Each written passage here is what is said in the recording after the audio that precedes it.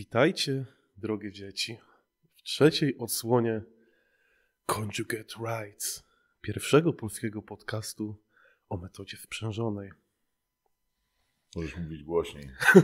No przecież opierdalał mnie cały czas, że mam Ja ryja no. nie? Ale nie, mów normalnie. Ech. A, czyli teraz jest tak ustawione, że mogę drzeć ryj, świetnie. Zabrzmiałeś jak perwol.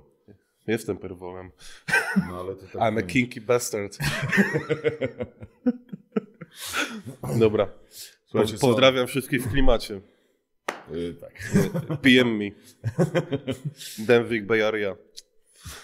Dobra, y, tak. Dzisiejszy odcinek jest odcinkiem jubileuszowym. Mamy trzecią okrągłą y, tygodnicę działania naszego podcastu. tak, w muzyce działa taka reguła, że y, po trzecim albumie ocenia się y, jakość zespołu. Jeżeli zespół potrafi nagrać trzecią dobrą płytę na tak samym dobrym poziomie jak pierwsza, to znaczy, że jest ok, nie? Rozumiem, czyli świętujemy. Zaraz wracam. Uuu. Cóż to będzie? Paweł, popitkę mamy. Mmm, elegancko. A, z okazji trzeciej tygodnicy mam tutaj, Gdański. Adam, dwa litry gdańskiego spirytusu. Fantastycznie. Nasz Wiedźmin, który aktualnie został w zeszłym tygodniu, nie, dwa tygodnie temu został menadżerem lokalu e, tegoż oto przybytku e, i realizuje tenże podcast. Wynorał to wczoraj w trakcie porządków. Okazało się, że mamy na wyposażeniu. Okazało się, że i- mamy i- Dwa litry spirytusu i mnóstwo metanabolu jeszcze tak. w szufladach. I to właśnie dlatego, jak wrzucałem e, wczoraj, próbowałem zauploadować na Spotify te podcasty, żebyście mogli słuchać w aucie, to zaznaczyłem explicit content, właśnie ze względu na taki language i, i tego typu tematykę. Dobrze. Trzeba, Dobra. mieć, trzeba mieć dupochron zawsze. Schowamy to, bo już jeden taki komentarz się pojawił. Hehe, a co to za sportowcy z fajami? To teraz możesz napisać, hehe, a co to za sportowcy ze spirytusem? Robimy nawet gorsze rzeczy niż spirytus i faje, uwierz mi. Partnerem dzisiejszego odcinka jest Higbar Gdynia, najlepszy mleczak w okolicy. Tutaj rosołek będę sobie siorbał w trakcie. Jeżeli jesteście w okolicy Chyloni, e, Cisowej, e, Pustek Cisowskich, Dęptowa, e, to generalnie polecam obiadki właśnie w tym miejscu. kluseczki z zasmażką. A jak wiemy, generalnie dania oparte na kluseczkach są podstawą budowania masy mięśniowej w trójboju siłowym. Wszelkiej maści kluseczki, pyzy, kopytka, czy jak to się tutaj mówi e, w okolicach e, Trójmiasta, pampuchy. Wszystko, whatever, nieważne. Wszystko, co ma w swojej nazwie kluska, bądź jest pochodną kluski. Tak, i jeżeli chodzi o deser, to świetną alternatywą, jakby takim odpowiednikiem kluski deserowej jest beza, bo to jest po prostu kluska na zimno. Dobrze. No cóż, Adamie, y, jubileuszowy odcinek powinien być wyjątkowy. Łącznie mamy prawie 5000 odsłon na dwóch poprzednich odcinkach. Oczywiście bardzo mocno zaokrągliłem, bo jestem megalomanem. I, I w tejże okazji odpowiemy pierwszy raz na Wasze pytania, y, których się pojawiło aż kilka. Y, Także na sam początek weźmiemy te pytania. Myślę, że one nam zrobią taki wstęp teoretyczny do tematu głównego dzisiejszego odcinka. A tematem głównym dzisiejszego odcinka będzie metoda dynamicznego wysiłku, czyli Dynamic. effort method. Dla tych z Was, którzy lubią speed metal. Idealna metoda. Y, I tak, y, cóż, na wstępie gorąco Was zapraszamy, jeżeli chcecie robić trójbój y, według tego, o czym Wam tutaj opowiadamy, Gdynia, Chylonia, y, Outlaw Barbell, klub, który wspólnie tutaj prowadzimy. Zainteresowanych zapraszamy oczywiście do kontaktu przez wiadomość prywatną lub przez nasze social media. Tu gdzieś Guszec wrzuci nam linki. Zapraszamy Was gorąco na te social media, aczkolwiek tam się absolutnie nic nie dzieje, bo nie mamy czasu na, na, na żadne debilowanie w bycie szafiarkami albo inne tego typu klimaty. Ja. E, Także jeżeli chcecie śledzić dla samej zasady, zapraszamy Was gorąco. Jeżeli chcecie robić realne dzieło, zapraszamy Was do Outlaw Barbell i komunikujcie się wtedy przez te puste social media, które są swojego rodzaju wrotami do innego świata. Siódmą bramą. Gdyni. Wrota, wrota wymiarów. Siódma brama Gdyni. Wychodzi się tędy tutaj w monolifcie. Bo abs- absolutnie naszej siłowni nie znajdziecie na żadnej mapie i na żadnej mapie się ona nie pojawi. Nie posiada także fanpage'a, bo jesteśmy trochę creepy i lubimy teorie spiskowe i właśnie tworzymy jedną z nich, będąc takimi tajemniczymi ludźmi i stosując e, do tego sztuczny, wymuszony elitaryzm. Dobrze. Dobrze. Siorbnę sobie rozsądek. Siorbnij sobie rosołku i odpalamy, odpalamy pytania. Oczywiście cały czas zachęcamy do zadawania kolejnych pytań. Dzisiaj przy okazji e, Dynamic Effort no, powinny się pojawić, bo jest to metoda, e, z którą według mnie jest jeszcze więcej problemów. w Budząca wiele kontrowersji. Max Effort. E, Więc e, zachęcamy do zadawania pytań. E, Dzisiaj no, powinno się ich pojawić więcej, dlatego że, tak jak już tu Paweł wspomniał, metoda też e, budzi wiele kontrowersji. Jest e, moim zdaniem jeszcze bardziej niezrozumiała niż Max Effort. E, Tam jest strasznie dużo jakichś procentów, jakichś wyliczeń, a tu ileś tam gumy, ileś tam łańcucha i tak dalej. Także to wszystko powyjaśniamy sobie. A na start polecimy właśnie z pytaniami, które były pod poprzednimi odsłonami naszego podcastu. Ten rosołek jest to naprawdę gotowany. Nie? Takiego stopnia zatłuszczenia rosołu nie, Nie da, da się uzyskać z kostki. Tak. Nie da się. Jeszcze nikt nie wymyślił, jak w kostce przemycić tyle tłuszczu, żeby w gotowym, zalanym już rosole wrzątkiem tyle tłuszczu tam nadal było. Jak wiadomo, dobre jedzenie powinno być tłuste i słone. Dodatkowo y, amerykańscy naukowcy y, udowodnili, chyba goście y, z Uniwersytetu Stanforda, y, że ten film taki, ta, ta powłoka tłuszczowa, która zostaje na ustach i y, dziąsłach oraz zębach po wypiciu rosołu, y, w 100% zmniejsza ryzyko zachorowania na raka właśnie obszaru tutaj gębowego Tak jest. u osób chronicznie palących papierosy. Papierosy, Dlatego właśnie rosołek Dlatego właśnie ro- rosół jest idealnym połączeniem y, z jest papieroskami. świetnym kompanem dla nikotyny. Tak. Y, y, y, Wiedźminie, mógłbyś otworzyć okna, bo tu zadymimy zaraz i nic nie będzie widać na filmie i zrobi nam się z tego podcast bez wideo, a to nie był nasz cel. No taką wajchę tam masz, dasz radę. No patrzysz na nią. No, No. Użyj tych wiedźmińskich zmysłów. Chyba na F trzeba kliknąć. Nie, to na tym, na R1, Ale ja nie, nie jestem konsolowy. ale to przegrasz na padzie. Nawet jeśli jak grasz na kompie, bo jest lepsze sterowanie. A to jest coś w stylu tej audiofilii, nie? Adam? Tak, tak, tak. tak. tak, tak, tak. no. Dobrze. Ludzie, którzy grają na PC, na konsoli są jak audiofile. To jest oficjalne stanowisko Conjugate Right podcast. Dobrze. A na kompie też wibruje ten, ten pad w rękach? Ko- Zajebiście. No to już do mnie bardziej przemawia. I'm a kinky bastard. Dobrze. Słuchajcie, odpalimy sobie papieroska, podpowiadamy na wasze pytania. Widzicie, konwencja zaczyna nam się robić bardzo luźna, bo ch- wydaje nam się, że chyba staliście się trochę nieśmiali przez to, że tak poważnie opowiadaliśmy o tej sprzężonej. Nie bójcie się w nas, to nadal my, ci sami wasi trójbojowi przyjaciele, y, którzy służą wam tutaj pomocą, y, wsparciem, motywacją. Przecież nie kto inny jak właśnie Barber Brothers wygrało fitness motywatory w zeszłym roku. Także kochani, kochani, y, lecimy. Dobra. Przejdźmy sobie po kolei komentarze. Jest ich na ten moment y, około 13, nie, wie, nie więcej, nie mniej, jednakże około. Y, Przede wszystkim tutaj pochwała. Kogo obchodzi echo, jak wiedzy leci w chuj. Dzięki. No i to jest podstawa. Wybaczamy wulgaryzm, Tak. ale doceniamy szczerość. Aczkolwiek pan Zięba twierdzi, że dźwięk teraz nie był lepszy i słucha się znacznie lepiej. Props. I to jest akurat props do naszego tutaj Wiedźmina Tak, Głuszca, Głuszca. który zajmuje się wsparciem technicznym całego tego przedsięwzięcia. I chyba pierwsze poważne pytanie. Czy cokolwiek stoi na przeszkodzie, żeby robić ławę wprzężoną, a dół ciała innym systemem? Czy ktoś z Was robił takie manewry? Robiliśmy takie manewry. Na przykład y, ja to robiłem w przypadku osób, które miały e, jakiegoś rodzaju problemy mm, po kontuzjach, po różnych innych tego typu przygodach i e, dół ciała na przykład wymagał zupełnie innego podejścia.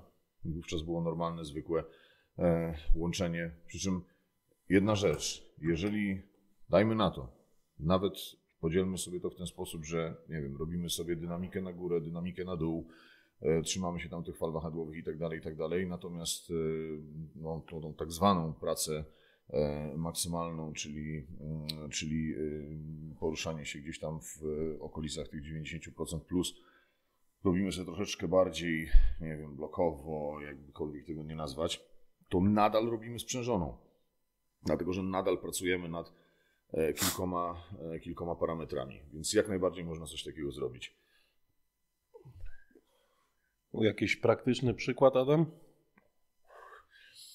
No to praktyczny przykład. No mam na przykład y, osobę, która, nie wiem, jest po rekonstrukcji więzadeł kolanowych, albo na przykład boryka się z jakimś e, bólem biodra, który, nie wiem, no, cały czas wymaga, mm, cały czas wymaga jeszcze pracy bardziej rehabilitacyjnej niż stricte treningowej i ta osoba wykonuje właśnie specjalistyczny program dedykowany tym problemom na dół ciała.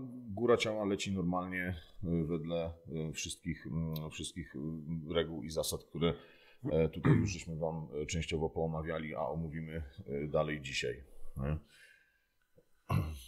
To jest taki w sumie naj, najprostszy przykład. Jeżeli chodzi o mnie, to też takie manewry e, stosowałem i stosuję. I e, przykładowo dla góry ciała mm, ra, raczej robię tak, że dół jest sprzężony, a e, góra ciała idzie innym systemem. To w przypadku osób, które mają dostęp do małej ilości sprzętu, czyli można wprowadzić bardzo małą wariację e, do treningów, co jest dość istotne, żeby ta metoda działała, jak wiemy po, po dwóch poprzednich filmach. I również u osób, które są bardzo początkujące i nie mają dobrego wzorca wyciskania i generalnie mają mało rozwiniętą muskulaturę góry ciała, całej obręczy barkowej, y, to generalnie pokusiłem się o spróbowanie takiego systemu, y, który jest inspirowany tym, co J.M. Blakey właśnie opowiadał. Ty Głuszec wrzuciłeś tam, ten link jest? W drugim odcinku macie link do tego podcastu 3 godziny soczystej wiedzy od dwóch asów. e, Dave'a Tate'a i J.M. Blakeleya, tego samego od, e, co wymyślił J.M. Press. Fajna historia swoją drogą. Znaczy on generalnie jakby nie, nie, nie, absolutnie sobie nie uzurpuje prawa do, do, do, do wymyślenia tego ćwiczenia, e, bo Bill Kazmaier wykonywał bardzo podobne ćwiczenie w wielu miejscach, między innymi w em, przybytku, w którym e, prowadzi zawodników e, Josh Bryant. Josh Spod- Bryant. Spod którego ręki wyszli między innymi tacy bencherzy jak e, Julius Maddox e, czy Jeremy Hornstra, e, Hornstra. czy Bigal Davis, czy Peter Edgett. Czy Al Jankowicz. Oni generalnie sto, stosują, stosują, stosują ćwiczenie, które nazywają Kaz Press. I, I jest to ćwiczenie bardzo podobne do, do, do JM Press. Natomiast no, on po prostu mówił, że to było ćwiczenie, które jemu na triceps y, robiło najlepszą robotę i y, zarzekał się w filmie instruktażowym, że to jest tak na dobrą sprawę jedyne ćwiczenie na triceps, które wykonywał. on też, też mówił, że w jego programie treningowym nie było miejsca na to, żeby robić wąskie wyciskanie i skull crushery, więc robił coś pomiędzy i Tak. wyszło JM Press.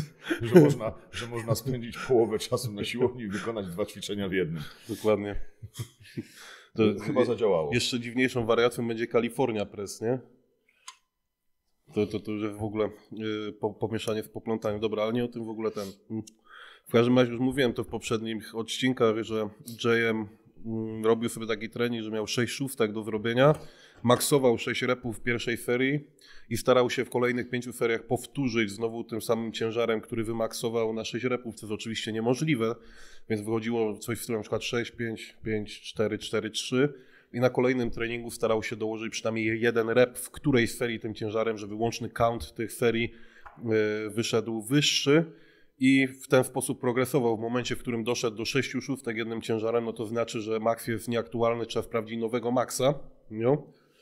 No, E, później od tego nowego maksa nowe procenty i można robić to, to samo. Nie? Znaczy, no, Louis- no, no żadne procenty, no po prostu od nowa się powtarza procent, nie? Proc- proces, jo?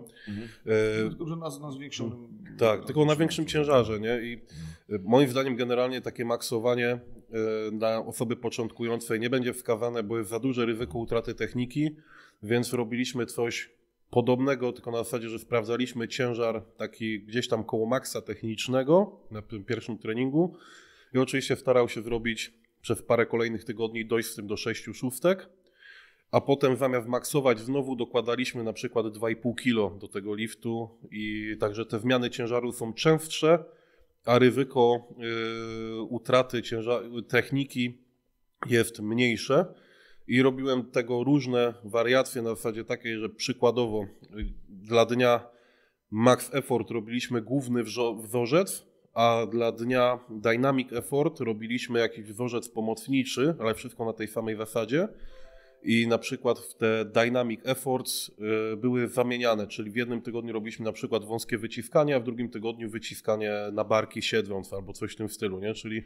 jeszcze jakieś overheady, żeby mocno mhm. przepracować, albo nawet łączyliśmy te wzorce, y, czyli ale w mniejszej objętości, czyli na przykład trzy szóstki wyciskania wąsko, trzy szóstki overheadów i tak sobie generalnie eksperymentowałem i eksperymentuję nadal, y, mhm. która metoda jest najlepsza, no to tutaj ciężko byłoby stwierdzić, bo... To ja, ja, na przykład robiłem, ja na przykład robiłem coś takiego u osób z e, takim no, dosyć znacznym zapotrzebowaniem na hipertrofię. E, sięgałem bardzo często po GVT, e, czyli German Volume Training z 10 seriami po 10 powtórzeń. Później mogła to być dalej progresja 8x8, później 6x6, później 5x5, wchodzenie na coraz wyższe ciężary, zmniejszanie tej, mm, tej, tej, tej ilości mm, objętości na dobrą sprawę, można powiedzieć. E, ze zwiększającą się intensywnością i ten wzorzec był też y, już dobrze przepracowany, a właśnie mieliśmy przez dużą ilość y, mhm. też faz negatywnych właśnie profit w postaci, w postaci hipertrofii. Ludzie bardzo fajnie na tym rośli, a dynamikę robili na przykład normalnie według, według tego, co no dzisiaj właściwie będziemy omawiać. Nie? Mhm. Jak idzie o dół ciała, też takie manewry robiłem szczególnie z, online, z online'owcami, z osobami bardziej początkującymi, z którymi współpracuję online, których nie mogę pilnować na, na, w treningu na trening, więc jakby przyjmowaliśmy taką strategię, że spotykając się na przykład miesiąc, raz na miesiąc, ogarnialiśmy bardzo dobrze jeden lift, na przykład, nie wiem, sumo w 6 cali czy z 9 cali e, i e, robili sobie po prostu objętościowy trening na tym jednym lifcie, czyli brak wariacji, powoduje to, że nie możemy maksować, więc używamy zwykłej liniówki w jakiś tam sposób, jakikolwiek tak naprawdę, ale uczymy się po kolei tych liftów miesiąc w miesiąc, jak już się zrobi jakaś baza liftów, dość wszechstronny rozwój zawodnika, plus za tym idzie hipertrofia, możemy próbować wejścia na sprzężoną, no bo nie ma to najmniejszego sensu, żebym ja zawodnikowi rozpisał na przykład cztery lifty, których on nie robił i żeby wykonał je niepoprawnie, nie? no to wtedy byłoby robienie sprzężonej dla samego faktu robienia jeszcze, sprzężonej. Jeszcze bardziej, nie możemy mówić o... Tak, nie możemy tutaj wtedy w ogóle mówić o... Mm, o jakimkolwiek uzasadnieniu dla, dla sprzężonej, no, tak? Jeżeli on nie ogarnie tego. Nie? Tak, tak. naprawdę nie będzie. Nie? Albo nie wiem, dla osób też, które potrzebują bardziej hipertrofii niż czegokolwiek innego, no to e, robimy na przykład e, też taki system sobie opracowuję powoli, bo cały czas go eksperymentuję, że maksy są tylko na 5 repów, a w dni dynamiki nie skupiamy się aż tak na prędkości, ile na objętości robimy 5 razy 5 trochę mniejszym ciężarem na podobnym wzorcu albo na tym samym wzorcu. I to mm. wygląda jak sprzężona, jeżeli chodzi o układ, ale to nie jest sprzężona, no bo nie ma tego maksowania, nie ma pracy na 10% plus, a dynamika. No i też tej dynamiki a dynamika, tak, nie ma. A dynamika tam naprawdę jest po to, żeby ogarniać na objętości wzorzec ruchowy a nie żeby się skupiać na prędkości, bo przy prędkości na przykład może się pojawiać bardzo dużo problemów technicznych, więc znowu mija się to z celem. Mhm. Jeżeli macie zawodnika u siebie pod ręką, no to tej, tą dynamikę ogarnie szybciej. Jeżeli nie jesteście w stanie coachować każdego z jego liftów, to zajmie to dużo więcej czasu i warto, warto tą, ten dynamic effort sobie podarować na jakiś czas. I tyle, no ale to jest po prostu jakby specyfika konkretnego zawodnika i, i, tak i, waszej współpracy, bo na żywo w klubie można ogarnąć dużo więcej, mhm. jeżeli chodzi o online, to prowadzenie sprzężonej, szczególnie jeżeli nigdy nie było doświadczenia sprzężonej, e, moim zdaniem wrzucenie zawodnika od razu jest zwykle mało skuteczne, nie? Można to, można to mm, ogarniać też jakby właśnie zacząć w ten sposób, jak Paweł przed chwilą mówił, a później można się na przykład skupić na tym, żeby mm, robić w ćwiczeniach dynamicznych E, fazę ekscentryczną pod kontrolą i powoli, a skupiać się tylko i wyłącznie na przyspieszeniu w fazie koncentrycznej. Mhm. Nie, nie ma takiego wyciskania, jakie widzicie na przykład na filmach e, Westside, gdzie ta sztanga po prostu zapierdala e, cały czas, nie? Jo. Bardzo dobrze się Was słucha. Robicie super robotę. Dziękujemy, Damianie. My Staramy się. Tak, akurat szukałem podcastu na dziś do posłuchania. Pozdro. Pozdrawiamy również. Pozdrawiamy. Zajebiście, że poza objaśnieniem Max Effort poruszyliście temat psychologicznego podejścia. Oby więcej. Adam, chyba będzie więcej, Będzie prawda? więcej. I będzie nawet zajebistym gościem poruszenia tego tematu psychologicznego. I jeszcze jeden projekt taki, że Pła! Naprawdę coś grubego będzie na jesień przyszłego roku, ale na razie nie zdradzam detali. Pierwszym takim e, zdradzeniem, czy z tym świnią, pierwszym takim zdradzeniem detala to będzie właśnie ten specjalny odcinek z naszym gościem. Mm. Możecie typować, kogo zaprosimy. Jestem ciekawy odpowiedzi. Najgłupsze i najbliższe prawdzie y, y, oczywiście przeczytamy, ale jak ktoś trafi, to nie przyznamy się, że trafił. Okaże się, jak pojawi się tutaj gość. Tak, ale, ale do samej dyskusji zapraszamy. Y, Intro skierowane do audiofilii złoto. Świetnie wyjaśnione, że w Max Effort chodzi właśnie o ten effort, a nie o rekord. Progres jest wynikiem, a nie celem w samym sobie. Brawo. Bardzo dobry wniosek. I teraz Adam, pytanie do Ciebie. Ile fajek dziennie polecacie na redukcję? Em, wszystkie. Tutaj działa y, metoda Chucka Norrisa. Tak jak było w tym popularnym dowcipie, ile pompek zrobił Chuck Norris. Wszystkie. Dlatego, żeby mieć maksymalny efekt redukcyjny, należy wypalić wszystkie papierosy. I co, to sportowcy tak mogą palić, Adam? Y, Brian Oldfield. Jak ktoś nie wie, to sobie wygooglować. Bra- Ricky- Ricky Brian Bruch. Oldfield y, Cigarette by wpisać w Google. Tak. Ricky Bruch, tak zwany nocny król Sztokholmu, o ile mnie pamięć nie myli, bo chyba w Sztokholmie tam głównie rządził. Ricky Bruch, bardzo ciekawa postać, też polecam się zapoznać, jeden z moich idoli. No dobrze, a jest coś takiego bardziej tam No tak, tak, już dochodzimy sports tutaj. related? Tak. Wiking to powinien kurwa coachem zostać, a tak poważnie to zajebisty materiał, nie tylko pod kątem sportu, otwiera banie na odważne życie buziaki, buziaczki Emil. Może sobie założę taki Instagram motywacyjny. Tak. Widzisz, o, patrz, Przepraszam. Dostałem punkt właśnie za trafną y, tę odpowiedź. Dobra, To taka aplikacja jest nowa. Za tak. każdym razem jak powiemy coś fajnego, to To dostaję punkty i mogę je wymienić na punkty witaj na Orlenie. Zajebiste, nie? Tobie się to przydaje, Dzięki temu nie? ta tankuję za darmo. Słuchaj, sprawa jest prosta. Koń Odyna miał 8 nóg, mój silnik ma 8 cylindrów. Tak? To jest życie właśnie w stylu wikinga. Dobra, tu jest pytanie treningowe. Czy nasze 100% jesteśmy w stanie powtórzyć za chwilę, to znaczy 5-10 minut później? Czy jeśli zrobiło się w danym ćwiczeniu nowy rekord po długim czasie niewykonywania danego ćwiczenia, po czym za 5-10 minut podnosimy go znowu, ale dużo ciężej, to realnie nie jest nasz maks, tylko coś w przedziale 92,5 do 97,5%. Jaki największy procent ciężaru maksymalnego według Waszej wiedzy udało się podnieść 2-3 razy na jedynkę na jednym treningu? No, inaczej. Jeżeli został zrobiony PR w danym ćwiczeniu, to generalnie powtórzenie tego PR-a, nawet po jakimś tam, po, jak, po jakimś tam odstępie czasu, no są, nie wiem, kto, kto, kto tam robił najdłuższe przerwy, nie pamiętam, ale generalnie... Gene Rychlak. Gene Rychlak chyba, tak? Ile? 20 minut? Tak, czy- czy tak. ile On nawet zalecał, że jeżeli chcesz być silny, to najkrótsza przerwa w treningu powinna trwać 10 minut. No, więc, więc takie, takie rzeczy też, też robiono, ale. Mm, e, Nie, To nie jest tak, że w 100% masz w banku tylko raz na strzała. No, oczywiście. No, No, da- da popatrz się- na przykład na ferię, nie wiem, na 80%. No, będziesz robił rep za repem i w końcu zacznie spadać prędkość sztangi i wtedy zaczniesz czuć, że idzie to ciężej. To samo jest ze 100%, tak? Szczególnie treningowymi, no bo na zawodach to 100% to 100%, bo tam dochodzi jeszcze ten czynnik pobudzenia mentalnego, ale treningowe 100% myślę, że jesteś w stanie powtórzyć po odpoczynku, tylko oczywiście dużo ciężej, bo ten spadek prędkości będzie wyraźniejszy i zmęczenie układu nerwowego będzie wyraźniejsze niż przy mniejszych ciężarach. Tylko, że moim zdaniem to pytanie to jest komplikowanie na siłę czegoś, co jest bardzo kurwa proste, nie? Czyli No dokładnie, mieliśmy to wyjaśnione. wszystko jest wyjaśnione w Maxefor. Nie masz po prostu zrobić cokolwiek w przedziale od 90% do 101, 2, 3, 4, 5%. W ilościach liftów przewidzianych. W ilościach liftów przewidzianych w, ta, w tabeli, a ile to będzie w procentach dokładnie i ile liftów na którym procencie, to już nie ma znaczenia.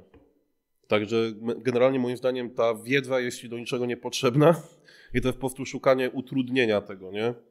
Bo nikt aż tak dokładnie tego nie analizuje, bo, bo to po prostu nic nie daje. To jest więcej wysiłku niż jest to warte, nie? Żeby jeszcze analizować to w ten sposób. Masz po prostu zrobić 4 lifty powyżej 10% i tyle cię obchodzi, nie?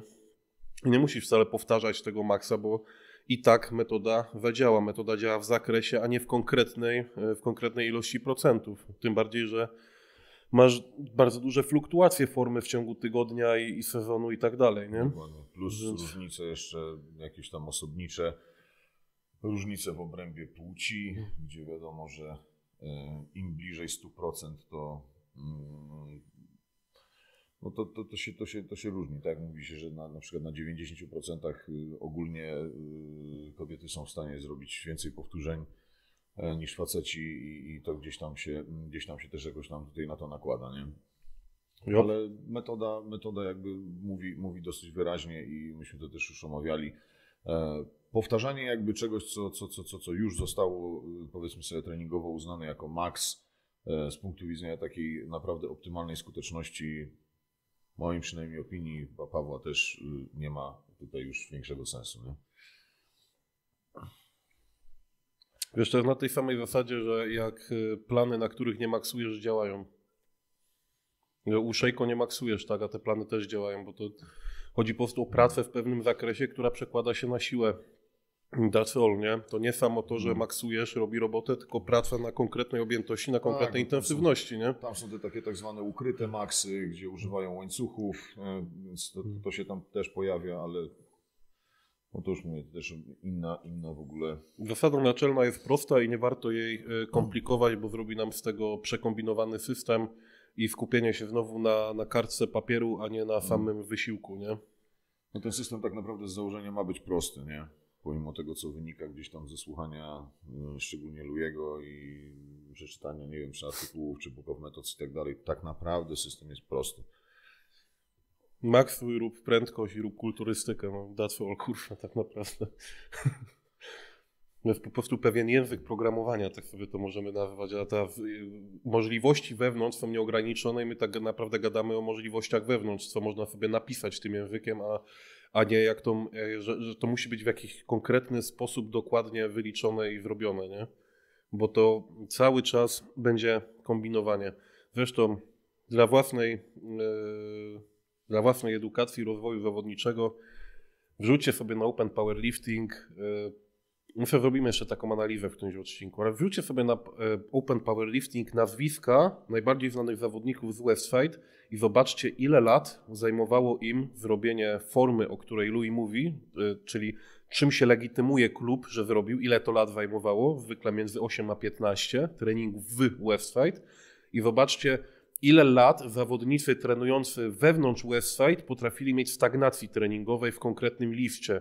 Znajdziecie bez problemu przestoje po 5, po 6 lat, gdzie na zawodach nie było za bardzo dokładane, albo wręcz był regres i to trenując pod okiem Lujego, nie? Mm. Jest patrzyłem normalne, na, forma- Na, Ken, na Kenny'ego Tak, Pattersona. Kenny Patterson przez ile? 5 lat, y, No. tak naprawdę fluktuacja ławki na zawodach to było 20 kilo bodaj, z czego jakby po 5 latach wrócił do tego samego, nie? Po, y, na zawodach, więc forma nie jest nigdy liniowa, nie? To nie jest tak, że będziecie mieli zawsze y, progres non-stop, Żaden system wam tego nie da. Jeżeli macie ten progres non-stop, to znaczy, że jesteście jeszcze daleko od swojego potencjału genetycznego i nieważne, czy to jest 200 kg czy 400 w przysiadzie, jeżeli idziecie płynnie do tego, nawet w bardzo szybkim czasie, powiedzmy dwóch, trzech lat, bo są ta, ta, ta, takie byki, to znaczy, że wasz potencjał genetyczny jest jeszcze bardzo daleko i tak naprawdę nadal jesteście świeżymi zawodnikami. To się tylko cieszyć, nie? Bo, bo bazową formę dużo wyższą. Tylko ważne, żeby o tej bazie pamiętać, żeby was kontuzje nie zaczęły dopadać, bo takich przykładów też jest mnóstwo i na, na naszej scenie y, narodo- krajowej i na międzynarodowej. Są zawodnicy, którzy pojawiają się w Nikon, w ciągu dwóch, trzech lat robią formę taką że tylko czapki z głów, a potem zaczynają się kontuzje, nie? Właśnie dlatego, że było zbyt lekko. A są też zawodnicy, którzy po cichu dokładają, nie wiem, 10 kg do totala co zawody i dopiero po 10 latach błyszczą. No, że to nigdy to nie jest tak do końca liniowe. Stagnacje treningowe są normalne i właśnie o to w tym systemie chodzi. My o tym gadamy, jak sobie radzić, kiedy coś takiego się stanie, jak rozwinąć się wszechstronnie, żeby nie było tych kontuzji i jak wewnątrz tego sobie kombinować, jeżeli wam ten progres nie idzie. Nie da co, bo sama naczelna zasada jest prosta. Maksuj rób prędkość, rób kulturystykę. Żryj dużo i zrób trochę conditioningu, żebyś nie był klocem, który się nie może ruszać. No to jest cała metoda sprzężona, nie? No, co my tam jeszcze mamy? Jeszcze jedno pytanie e, w tym podcaście. Sprawdzimy sobie jeszcze e, odcinek pierwszy. Dobrze znaleźć w końcu jakiś podcast o dźwiganiu w rodzimym języku. Chętnie posłuchałbym o tym, jak się ma metoda sprzężona do autoregulacji, jakie mechanizmy autoregulacyjne się w niej stosuje i jak dużą wagę się do nich przykłada. Dodatkowe propsy za info o audiofilach i muzyce wesołego listonosza w Norwegii. Ciekawe, czy Fenris słucha naszego podcastu. Na bank słucha naszego podcastu, a w tle leci dobre minimal techno. No. Dobre, Nie, słuchajcie, ciekawe, dobre pytanie. ciekawe, tak. Bardzo dobre. e, O, to, to były punkty? Punkty, tak. innego? Drugi punkt dostałem. Drugi punkt. A? Proszę bardzo. E, z, bardzo ciekawe pytanie. Autoregulacja jest. e, No to jest, to jest bardzo interesujące zagadnienie, bo to z jednej strony potrafi być e, fantastycznym narzędziem treningowym, które właśnie jest bardzo mocno powiązane z tym, czego mówił Paweł przed chwilą o tym, że forma sportowa nie ma charakteru liniowego. Dlatego też właśnie bardzo często takie rozpiski, które są na papierze i mamy podokładane tam tutaj 2,5 kg do góry, 2,5 kg do góry, czy tam jakakolwiek inna wartość, czasami przychodzi dzień, gdzie się nie da tego dołożyć. Nie? Co wtedy? No i co wtedy? Wtedy się pojawiają posty na Instagramie, które traktują o tym no właśnie, jak to jest właśnie w życiu, że czasami taki dzień przychodzi. No właśnie. No, Kolejny punkt. E, Więc mm, u zawodników e, wyjątkowo zmotywowanych, którzy nie lubią, czy czasami też wręcz nie potrafią odpuścić, To są ci, którzy słuchają coacha Majka, tak? E, autoregulacja jest, e, jest, jest trudną rzeczą, więc nie potrafią na przykład powiedzieć, że dobra, dziś jest słabiej. No, Będzie po prostu walka za wszelką cenę, czasami się to kończy kontuzjami i tak dalej, i tak dalej. Ale generalnie o nie zmarnuj kluseczki, Makaron. kurde. E, więc, e, więc tutaj jakby autoregulacja, e, no autoregulacja przychodzi z pomocą właśnie w odpowiedzi na ten brak liniowości e, formy sportowej. Jesz jak prosię. Mam kurwa taki zestaw głupich myśli w głowie, że nie mogę ogarnąć. No to absolutnie nie są rzeczy, którymi się mogę podzielić na podcaście. Więc generalnie słuchajcie, no tutaj przychodzi też jakby z pomocą to, o czym już mówiliśmy wcześniej, tak? Załóżmy, nie wiem, mamy zaplanowane, wracamy powiedzmy sobie do jakiegoś tam ćwiczenia, tak? Niech to będzie, nie wiem, przysiad na skrzynkę z łańcuchami. Wiemy na przykład, że zrobiliśmy sobie tam e, gdzieś tam jakiś czas temu, dajmy na to, nie wiem, 200 kilo plus tam, e, nie wiem, 40 czy, czy tam więcej kilogramów łańcuchów. No i podchodzimy sobie znowu po jakimś czasie, po, po tej rotacji mm, z powrotem do tego liftu, no i chcemy do tego liftu dołożyć. No ale lecimy rozgrzewki, lecimy już serii roboczej, zaczynamy troszeczkę dokładać ciężaru, no i czujemy, że ni cholery nie pójdzie więcej niż to 200, nie? Z tą ilością łańcuchów.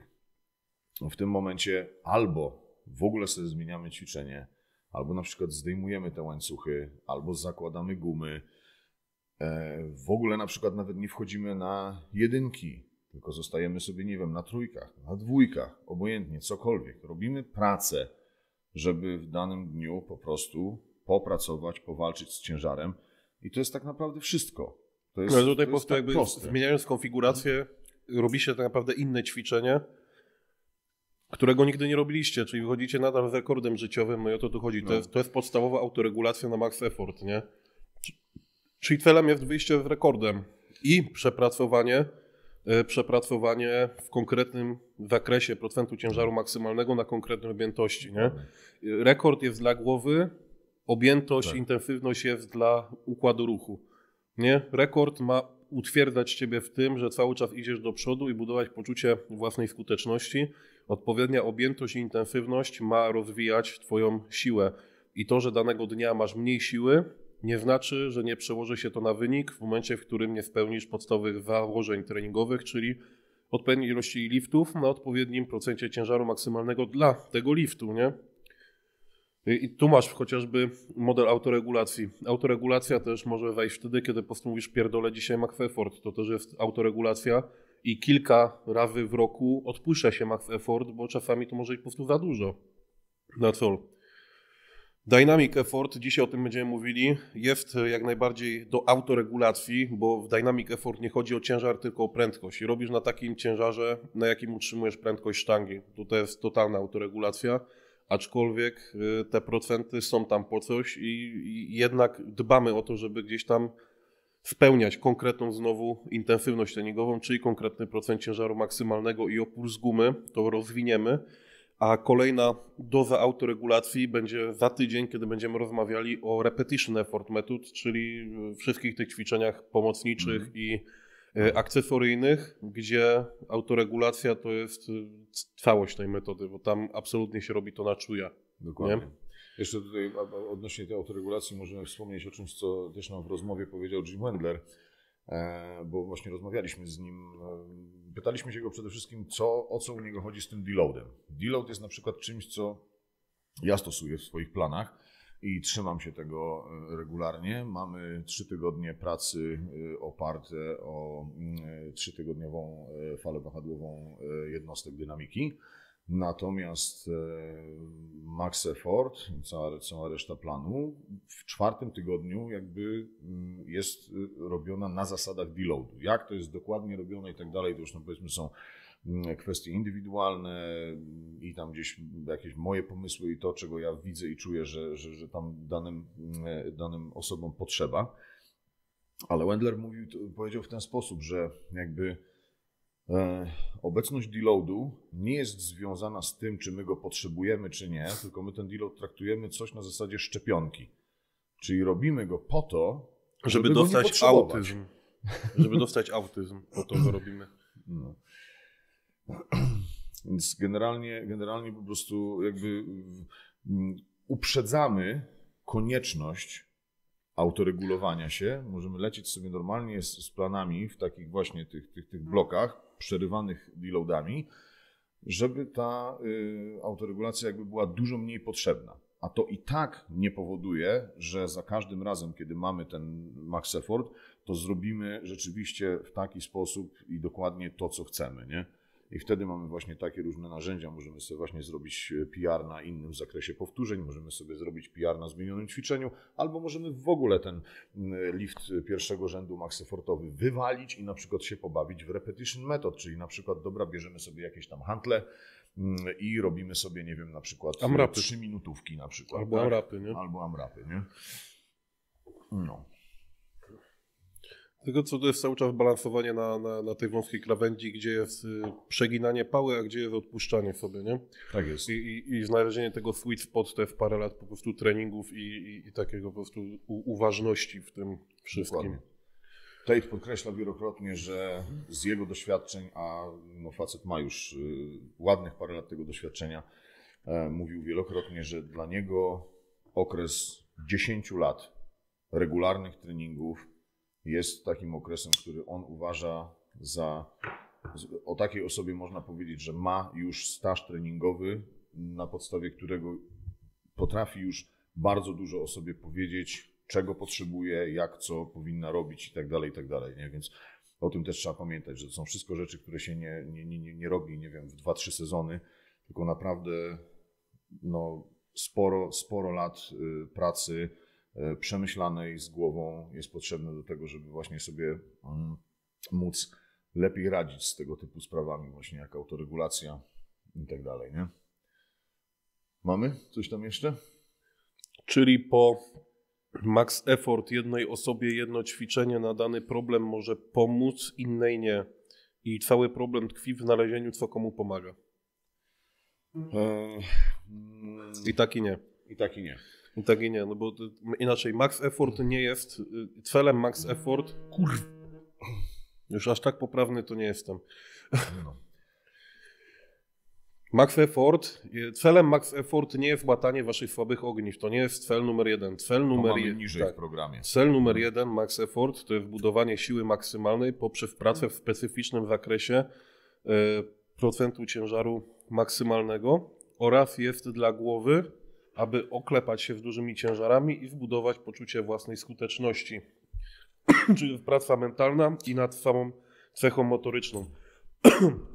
Lifty w max effort mogą spełniać w kolejnym rzędzie funkcję łatania słabych ogniw, ale to nie jest główny cel tego, tej części. Nie? Główny cel, część, w której to jest główny cel, to są ćwiczenia uzupełniające, czyli supplemental work, gdzie pracujecie na dużym ciężarze, na wzorcu wielostawowym, który bezpośrednio trafia w słaby punkt w waszym ruchu, a dalej w reszcie repetition work pracujecie nad najsłabszymi mięśniami i celujecie już zupełnie dokładnie najsłabsze ogniwo w waszym łańcuchu. Nie?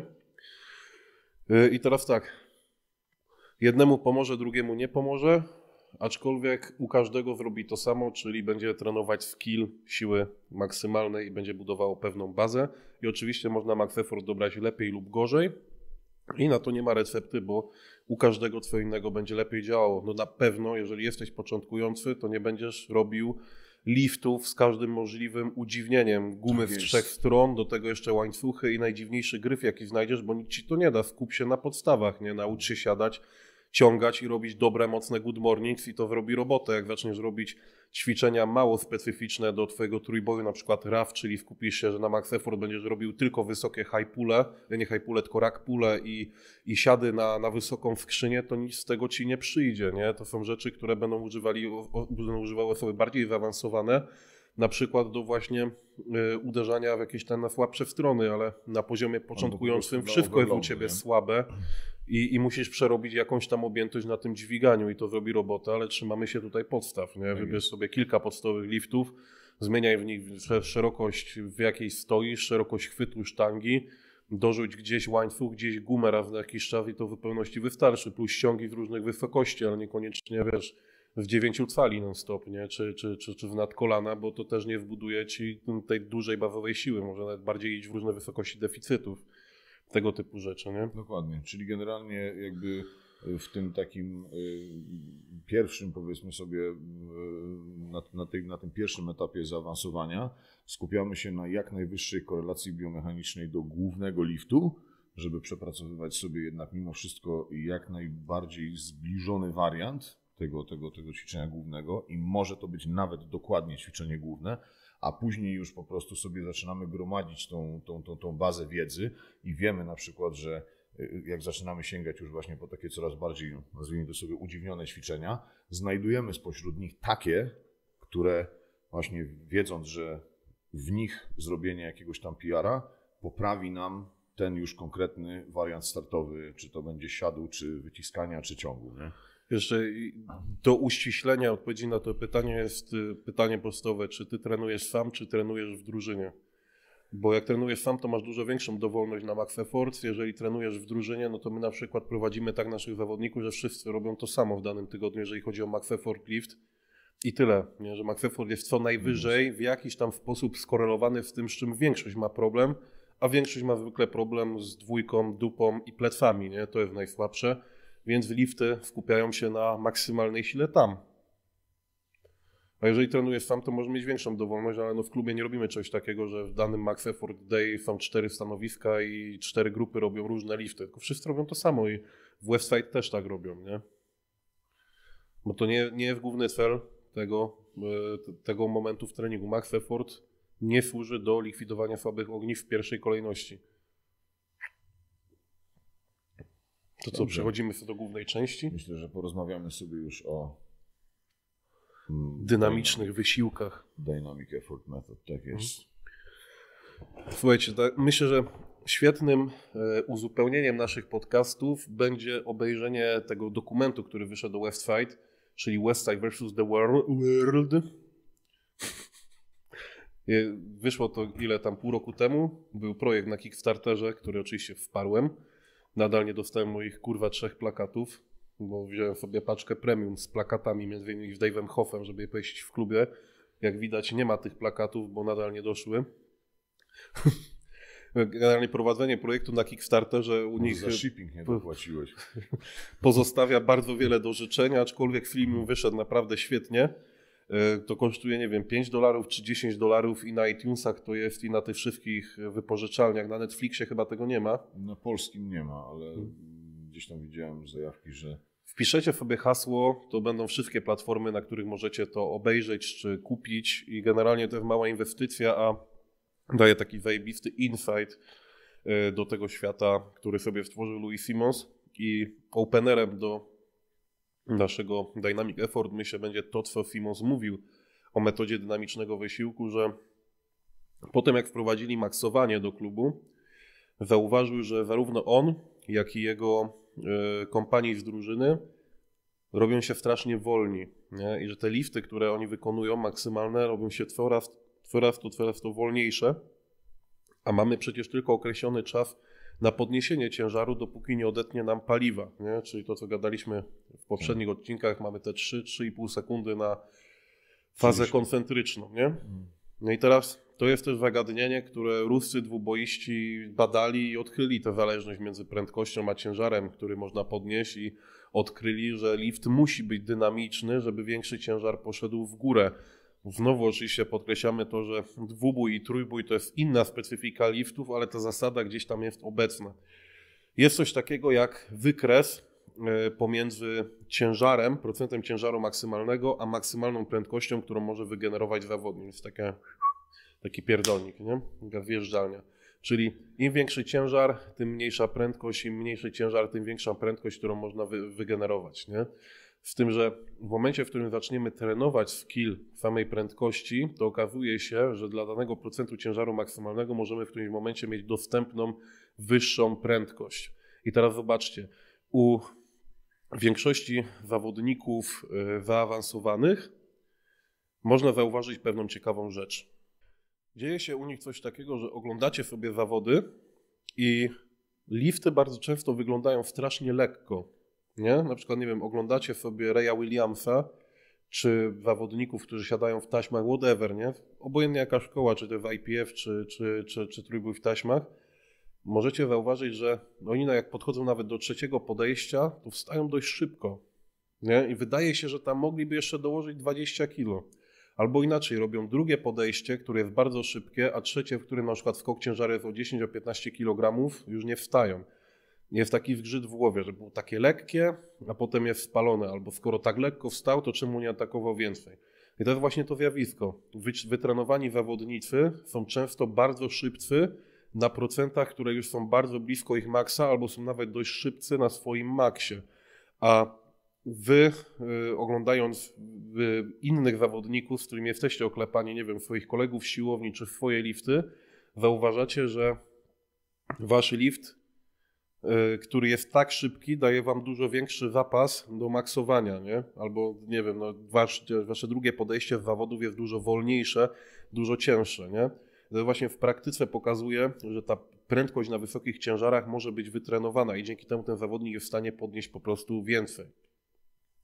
I tak się narodziła metoda dynamicznego wysiłku, nie? czyli Simons uznał, że trzeba wprowadzić coś, co spowoduje, że te lifty będą szybsze, a poza tym zauważyli, że dwa razy w tygodniu maksując, mało kto jest to w stanie na tym progresować, więc trzeba się pobawić w jakiś trening na objętości, żeby nadal był konkretny bodziec do rozwoju, żeby nie marnować drugiej części tygodnia.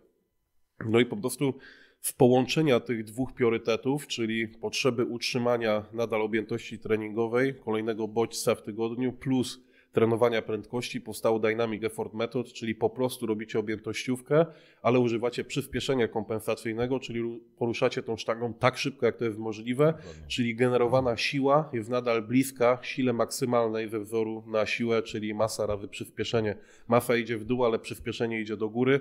Wynik tego równania, czyli F, nadal jest bliskie lub równe F max. Taka najprostsza definicja Dynamic Effort to jest poruszanie submaksymalnych ciężarów z maksymalną prędkością. Po prostu to jest, to jest, to jest tylko tyle. Nie? E, I teraz no co? No, pojawiają się, pojawiają się takie, mm, takie sprawy jak y, właśnie No, ten, ten. Myślę, że tak, mamy do omówienia gumy, łańcuchy. Tak, dodany czyli opór. wszelkiej- Czy to ma być, maści. czy tego nie ma być, czy to ma fymulować sprzęt, czy to ma nie fymulować sprzęt. Dalej, dobór liftów, czyli co tak naprawdę robimy na tym treningu, jak, jakich liftów używamy, no i konkretne objętości i intensywności tych liftów, żebyśmy mieli jakiś guideline, żeby wbudować sobie, e, sobie ten trening. A cała reszta, a no jeszcze kwestia autoregulacji tutaj, nie? I, i, i tego zaawansowany kontra, kontra początkujący. Żebyśmy sobie przerobili te cztery, cztery problemy i to powinno dać jakiś ogląd, a same konkretne już może cykle treningowe i tak dalej, to bardziej jest już kwestia na, na, na kolejne odcinki, nie? E, to może tak. Gumy łańcuchy, bo z tym się najbardziej nam kojarzy system sprzężony, czy generalnie system Westfade i to jest coś, o czym jest mnóstwo zawsze dyskusji. Rozmawialiśmy o tym w pierwszym odcinku, yy, więc odsyłam Was tam, jeżeli tego jeszcze nie słuchaliście, bardzo Was proszę, słuchajcie zawsze yy, chronologicznie yy, tych podcastów, bo wtedy będzie to miało największy sens, bo budujemy jeden na drugim odcinek, ale guma czy łańcuch nie ma na, na, na celu prze, odciążać dołu, czy symulować działania sprzętu, czy, czy taśm na kolana i tak dalej, tylko ma za zadanie zwiększać generowanie mocy, czyli Tak im jest. wyżej jesteśmy w lifcie, tym krótsze dźwignie ma, ma, są założone na nasze wstawy, tym bardziej korzystniejszy układ dźwigni, tym więcej możemy przenosić i guma i łańcuch dociążają mają, miejsce. Mają to, mają to dociążyć Tak. i mają to spowolnić, a my mamy z tym walczyć. Tak, czyli uniknąć sytuacji, gdzie na przykład wyciskając pchamy coraz słabiej, bo jest coraz lżej. Z gumą nie jesteśmy st- tego w stanie zrobić, bo guma nas po prostu zatrzyma sztangę, więc im jesteśmy wyżej w lifcie, tym mocniej musimy pchać, czyli bardziej zbliżamy się do tego e, fizjologicznego wykresu, gdzie możemy więcej Tak przeładować dany ruch i dany mięsień. Nie? Czyli efekt tego jest taki, że jest więcej pracy wykonanej w tym samym czasie trwania liftu, czyli mamy zwiększone generowanie mocy, bo moc to jest praca w czasie. Nie? To Mhm. wynika z czystej fizyki. Po to jest założona guma i łańcuch. Teraz z, z, badań, z badań y, wynika, że y, człowiek jest w stanie generować maksymalną moc przeciętnie przez około 30 sekundy. I y, to można trenować. Można ten czas generowania tej maksymalnej mocy wydłużyć właśnie spe, specyf- specjalistycznym treningiem. I po to właśnie też zostało dodane to mm, obciążenie o zmiennej charakterystyce. Tu jeszcze ciekawostka, warto podkreślić, że guma i łańcuch będą działały kompletnie inaczej, dlatego że łańcuch y, jako dodane obciążenie ma związek jakby tylko i wyłącznie z grawitacją. To jest po prostu kolejny element, który podlega sile grawitacji, natomiast guma daje Ma jeszcze dodatkowo- energię sprężystości. siłę, która po prostu nas ciągnie. Oczywiście y, wektor tej siły jest, y, jest styczny Ró- równoległy do, do- do grawitacji, Do, jo. grawitacji. Natomiast no, działanie tego jest zupełnie inne. W wielu artykułach Simosa można się spotkać z tym, że gumy y, wprowadza się u zawodników raczej już zaawansowanych.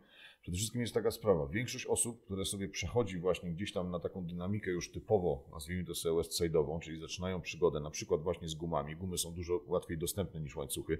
My na szczęście łańcuchy mamy. Czy Znaczy, kurwa, czy są trudno zapraszamy- dostępne? No nie są, no, Gu- ale... Gumy są dostępne po prostu w modnych sklepach. y, Tak. W każdym Można- sklepie ze sprzętem możesz kupić, a łańcuch, o kurwa, dostać. trzeba się Łańcuch wysilić. Trzeba, do sklepu Trzeba jechać do sklepu, który się nazywa sklep metalowy i sobie Tak, i zważyć, sobie- i sobie ile waży półtora metra tego łańcucha, bo Hmm. półtora metra łańcucha powinno ważyć około 10 kilo, czy jak chcecie być 100% All American, to 9 kilo, bo jeden łańcuch ma ważyć 20 pounds, Tak. czyli 9 kilo, nie? I tyle, nie? Ale generalnie problem polega na czym, że mm, wszyscy, którzy zaczynają sobie tą przygodę, dajmy na to, zaczynają od gum, e, bo to się najczęściej zdarza. E, Daj, powiedzmy sobie, że wykonują e, bench press, wyciągają sztangę, no czują, że to waży jakoś tak dziwnie trochę, opuszczają sobie sztangę i czują, że na dole o jest lekko, nie? Przykładają tyle siły, ile gdzieś tam w jakiś sposób intuicyjnie czują, że wystarczy, żeby poruszyć ten ciężar. Okazuje się, że z każdym, prawie że dokładnie z każdym centymetrem pokonywanej odległości zaczyna być coraz ciężej. I okazuje się, że wcale nie jest tak łatwo to podnieść. Albo po prostu no, podnoszą to, ale jakby w ogóle nie ma w tym żadnej e, żadnej dynamiki. I tu, się, tu jest, tu, tu w tą pułapkę najczęściej się wpada. Nie ma właśnie tego, że z dołu przykładamy tyle siły, jakby to był nasz maks. Czyli tyle siły, ile ta sztanga ważyła u góry, tyle trzeba przyłożyć na dole i wtedy, No. wtedy faktycznie to robi robotę, nie? Więc to jest, to jest dosyć istotne. Mówię, łańcuch ma troszeczkę in, inną, inną charakterystykę, inaczej się to czuje. Mm, To, to, to też jakby to jest coś, co, o czym też pewnie będziemy mówili, bo w Dynamic Effort również mamy do czynienia z rotacją. E, Też można rotować e, ten właśnie dodany opór, e, czy w postaci gum, czy w postaci łańcuchów, czy w postaci weight releasers, czy w postaci lightened method, czyli reverse bends. Mhm. E, to również jest, jest, em, jest właśnie e, metoda e, jakby zmiany charakterystyki pracy. Można też sięgnąć po przełamywanie e, stanu, nazwijmy to sobie zrelaksowanego przez dynamikę, czyli to, co robimy na boksie, to, co robimy we floor pressie, e, na przykład to, co robimy w pin pressach, e, gdzie następuje za każdym razem przerwanie łańcucha ekscentryczno-koncentrycznego i trzeba uczyć się generowania, napięcie, nie? generowania, generowania mocy, tak? Więc, więc tutaj jakby mamy też szereg narzędzi, żeby to wszystko zmieniać. Czyli podsumowując, guma od dołu nie pracuje liniowo. No, zacznijmy od łańcucha. Łańcuch pracuje liniowo, nie? Z każdym centymetrem e, ruchu do góry taki sam, taka sama ilość kilogramów. Tak. O tak, czy tam, no powiedzmy sobie tak. To jest linia prosta, Tam nie? Z każdym coś. centymetrem ruchu tyle samo kilogramów jest dołożone do sztangi. I, i na tym się jest. kończy działanie łańcucha, nie? Łańcuch nic więcej nie Napięcie robi. gumy natomiast rośnie Mhm. w ten sposób. Tak, Mhm. czyli nie- nie, nie jest to liniowe napięcie, bo to jest związane z samą charakterystyką materiału nie? E, i energii sprężywczości, która jest gromadzona w tymże materiale i po jej rozciągnięciu mm, e, będzie ona tę energię oddawać. Nie? Będzie równa sile, która była potrzebna do rozciągnięcia gumy na konkretną długość, z tym, że rozciągnięcie gumy na różną długość wymaga różnego przyłożenia siły ze względu na ten e, granice plastyczności materiału i tak dalej, i tak dalej. Tu jest tam sama fizyka materiałów, nie? W to się nie będziemy wdawać. Po prostu zapamiętujemy, że z każdym centymetrem przyrost kilogramów nie jest liniowy, tylko się wymienia inaczej na początku i na końcu rozciągania danej gumy. E, Teraz tak, guma przyspiesza nam fazę za- zamontowaną dołu, przyspiesza nam fazę ekscentryczną, czyli przyciąga sztangę do nas, co pozwala na zgromadzenie większej ilości energii kinetycznej, którą będziemy mogli dysponować na dole, czyli uczy nas też tego, aby pracować w ekscentryce nawet z dużym ciężarem szybciej niż robimy to intuicyjnie, przez co wpalamy chociażby mniej tlenu y, do opuszczenia sztangi czy wejścia w dół do przysiadu. Mamy więcej też energii kinetycznej wgromadzonej w ścięgnach i więzadłach, żeby tą sztangę zawrócić i iść z nią do góry. Nie? E, Dodatkowo gumy mocniej stabilizują sztangę w linii niż łańcuchy, czyli przy dużym oporze gum możecie zauważyć, że sztanga się trochę zachowuje jak suwnicy Smyfa, nie? Czyli to też nie jest dobre narzędzie dla, dla początkującego z tego względu, że ściąga od, w nas trochę e, wymagań Stabilizacyjnych. nie? Łańcuch też to trochę robi, ale nie aż tak. Guma natomiast zawieszona od góry przyspiesza fazę koncentryczną, nie? Czyli jest zupełnie inna specyfika pracy, mimo że tak naprawdę w liczbach mogłoby wy, wam wyjść tyle samo, że na dole i u góry ta sztanga waży tyle samo, co w przypadku zamontowania od dołu tej gumy, ale włożenia mniejszego ciężaru na samą sztangę. Czyli teraz tak, pytanie. Czy metoda dynamicznego wysiłku może działać bez gumi łańcuchów, czy bez gumi łańcuchów nie będzie już działała? Będziemy pracować troszeczkę nad innymi parametrami, bo jeszcze ym, tutaj warto podkreślić to, zresztą w te procenty to sobie później wejdziemy, ale mamy jakby dwa, y, dwa parametry szybkościowo-siłowe, nad którymi można pracować. Y, Louis to opisuje jako speed strength i strength speed. E, Ja sobie tutaj mam taką małą ściągaweczkę, bo to jest coś, co mi gdzieś tam zawsze, zawsze ucieka. E, Ale generalnie mm, chodzi o to, że mm, ta, mm, ta siła y, nasza, jakby e, gdzie, gdzie, potrzebujemy, gdzie potrzebujemy po prostu pracy.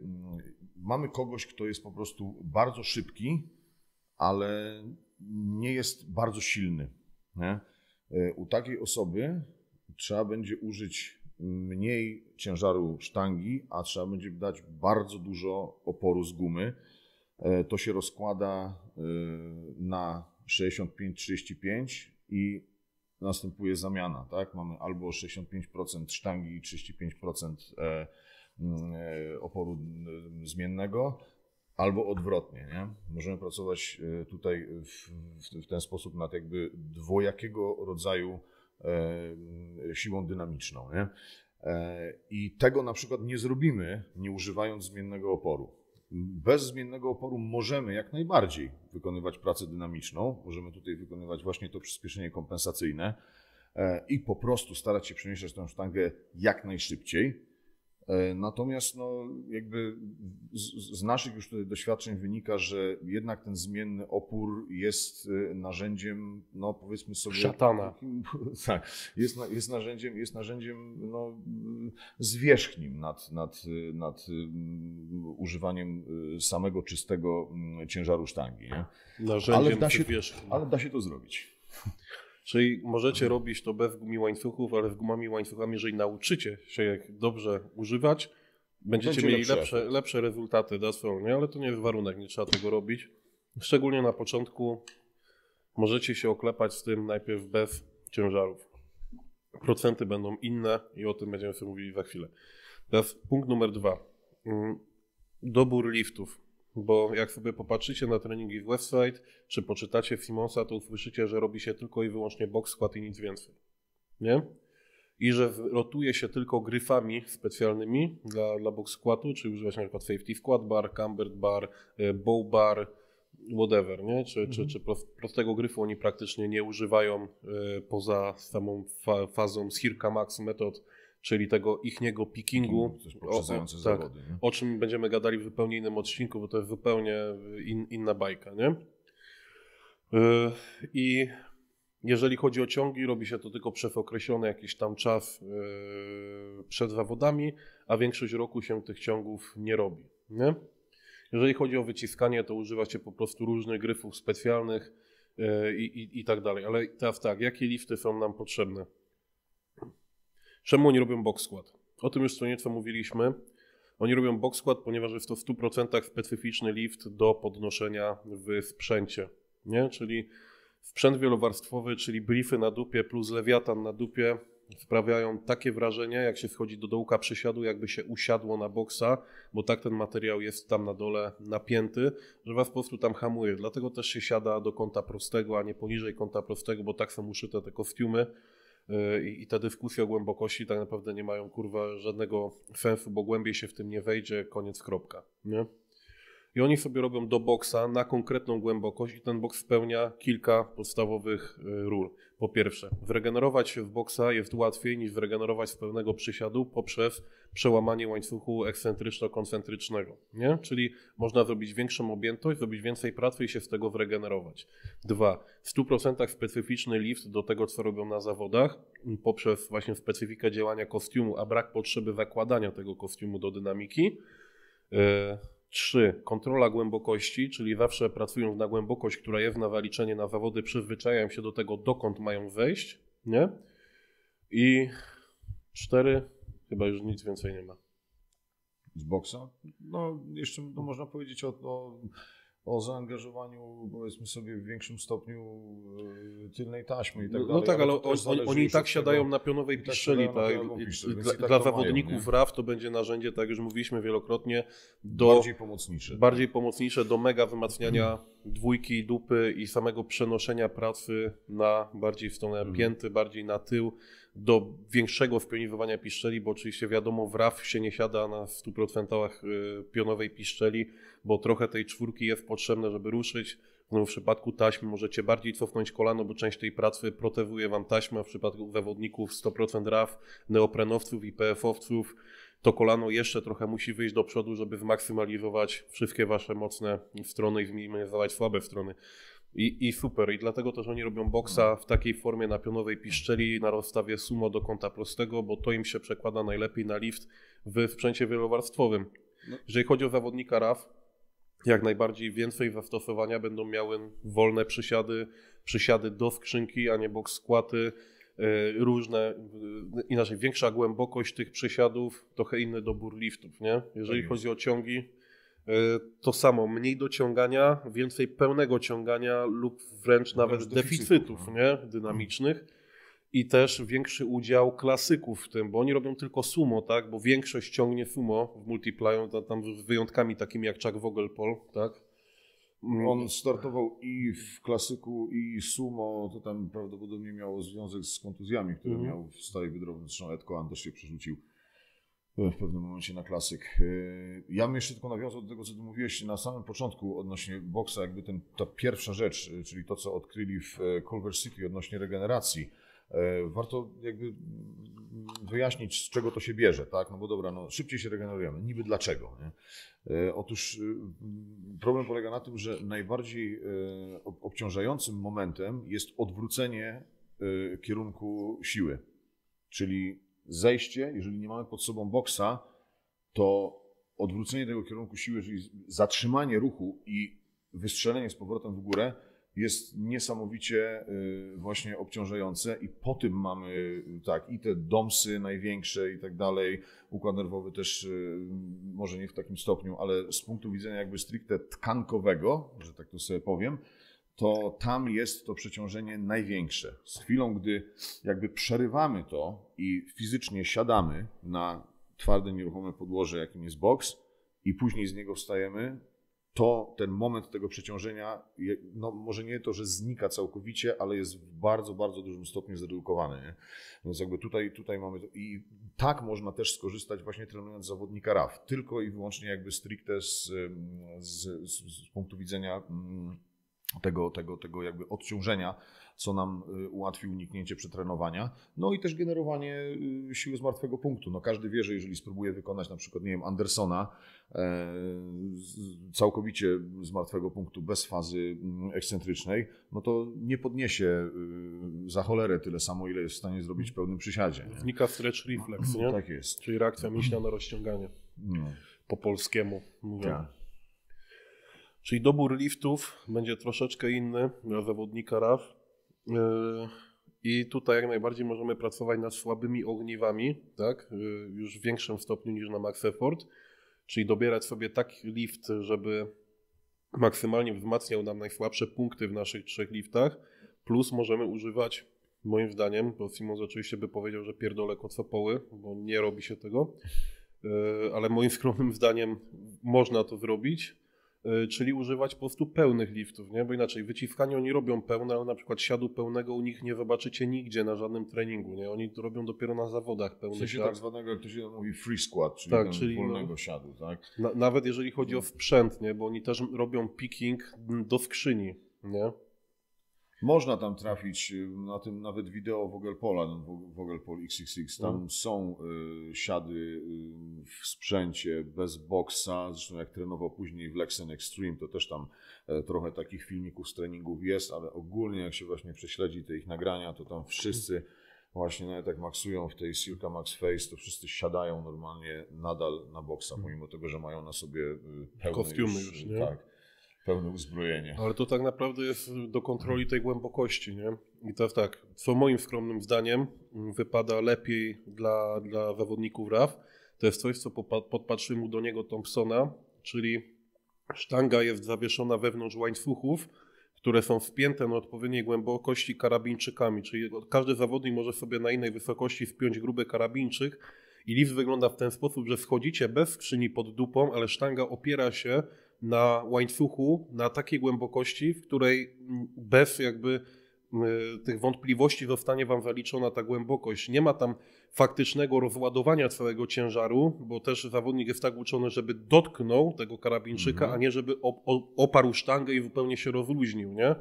To jest narzędzie, które Wam też świetnie wbuduje głębokość, to poczucie tej głębokości i jest mega fajną alternatywą właśnie dla dynamic effort poza zupełnie wolnymi przysiadami, nie? Tak jest. I To też w jakąś formą wariacji. Co nazywamy Tak. pin po Tak, tylko że na pinach dużo łatwiej rozładować Tak. ciężar, bo w, Pin jakby zachęca wręcz Tak, do tak. tego, żeby na nim odłożyć. bo w momencie, w którym rozładujecie ciężar na łańcuchu, to on się prawdopodobnie nadal przemieszcza tak, to, to przemieścicie się w tym i stracicie całą dźwignię, czyli na przykład mogą wam pójść kolana do przodu, może wam dupa wyskoczyć do tyłu, czyli musicie utrzymać więcej napięcia niż na pin skład. Pin skład. Jeżeli chodzi o boksy, wykonujemy je bliżej temu układowi, który mamy w normalnym low barze i to jest też coś, co na przykład Matt Wenning y, bardzo mocno o tym mówi i zachęca do tego, żeby przenieść troszkę kolana do przodu na tyle, na ile siadacie wolny przysiad na zawodach nie? i w ten sposób robić boksy i z tego nam się już robi ogromny arsenał do rotowania ćwiczeń. Do tego dołóżmy jeszcze siady z różnymi gryfami specjalnymi, czyli zamieniamy sobie na safety squat bar, na cambered bar, Oczywiście na jednych sztangach możecie zrobić jedne lifty, na innych nie, no bo pin skład na safety skład barze raczej by wyszedł yy, komicznie, ale do łańcucha na safety skład barze jak najbardziej możecie wejść, nie? I teraz tak, yy, ciągi mamy przerobione i tak naprawdę wzmacniamy i jeden i drugi ciąg moim zdaniem, czyli robimy i dynamikę na klasykach i dynamikę na sumo, niezależnie od tego kto czym będzie, będzie startował na zawodach. I tutaj byśmy się kierowali tak naprawdę zasadą specyficzności, czyli im bliżej do zawodów, tym bardziej specyficzny lift robimy Tak, dla naszych różnych liftów. klasykiem, no to będzie miał w tej fazie tak zwanego pickingu, będzie miał właśnie ten, e, ten ciąg na dynamice w klasyku. Nie? E, Ja bardzo często na przykład. Co tam jest takiego ciekawego? To blondyna taka fajna. A. Okej. E, Tak czy inaczej, ja na przykład bardzo często właśnie aż głuszec poszedł się zainteresować. No jest kurde. Cicha tak woda. spoglądała tutaj, co się dzieje na siłowni. E, Generalnie może chcę uprawiać e, multiply powerlifting. Wygląda na taką, co by chciała. E, Tak czy inaczej, ja na przykład bardzo często. e, Założyć robię- pieluchę, nie? Tak. Fivera. E, Robię taką zmianę, robię taką zmianę w e, fal dy- dynamicznych, na, y, które są na przykład robione przy, z użyciem ciągów E, i dajmy na to właśnie jest to, jest to, jest to, jest to, jest to zamieniane, tak? Jeżeli wracamy sobie powiedzmy sobie do ciągu, bo też nie, nie robię tak, że tylko lecą, lecą, lecą ciągi w dynamice, E, ciąg jest czasami dodawany jako drugie, ćwiczenie również wykonywane właśnie ze zmiennym oporem i również wykonywane w, w celu właśnie zrobienia tego liftu jak najbardziej dynamicznie, eksplozywnie ale jeżeli powiedzmy sobie w poprzedniej fali y, z ciągami był ciąg sumo, to znowuż zamieniamy y, sobie na tego klasyka, żeby po prostu najnormalniej w świecie podnieść wszechstronność. Bo to jest widoczne w każdym sporcie. Czasy, kiedy uprawianie, trenowanie danego sportu polegało tylko i wyłącznie na tym, że ja uprawiam ten sport, czyli na przykład, nie wiem, jestem tenisistą, to nie robię nic innego, tylko gram w tenisa. Te czasy już bardzo, bardzo dawno minęły. E, Sportowcy mają bardzo wszechstronne treningi, rozwijają się wielokierunkowo.